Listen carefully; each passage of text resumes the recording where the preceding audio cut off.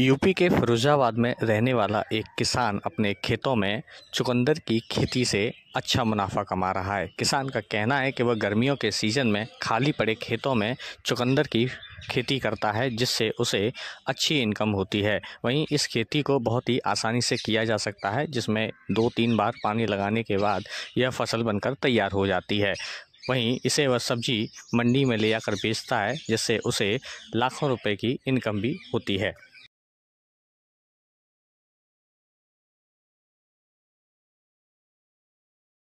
जी राकेश कुमार नाम खेतों में क्या कर रहे हैं? जी सब्जियों की खेती करता अभी क्या है खेतों में? जी तोरई है खीरा है चुकंदर है।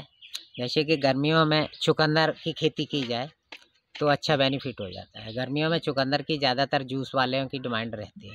हाँ। सर और शादियों में सालक में सलाद अलाद के भी काम में ज़्यादा डिमांड रहती है इसकी। हाँ। तो इसमें कोई ज़्यादा लागत नहीं आती है चुकंदर में। जैसे कि जनवरी से लेकर के फरवरी लास्ट तक चुकंदर की बुवाई कर सकते हैं गर्मियों वाले की हाँ। और पैंतालीस से पचास दिन में ये चुकंदर तैयार हो जाता है हाँ। ज़्यादा से ज़्यादा चार तीन से चार पानी लगते हैं इसमें चार हाँ। पानियों में तैयार हो जाता है हाँ।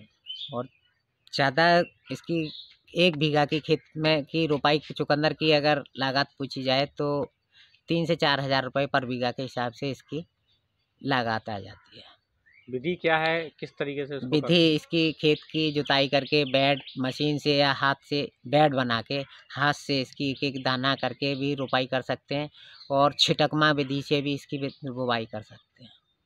कितने दिन में तैयार हो जाती है? पैंतालीस से पचास दिन में ये चुकंदर तैयार कितना प्रॉफिट इससे होता है? प्रॉफिट इसमें बहुत अच्छा हो जाता है। कम से कम पंद्रह बीस हज़ार रुपये का प्रॉफिट पर बीघा के हिसाब से हो जाता है।